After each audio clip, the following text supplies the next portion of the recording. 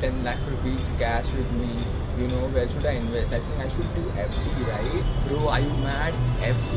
No, it's that strategy. Invest in this stock which is called IOC, Indian Oil Company, which is giving 15% dividend yield per annum. So if you invest 10 lakh rupees in it, you will approximately get 1.5 lakh rupees per year, which is approximately 12,500 rupees per month. Isn't that enough? Bro, this is a hack strategy.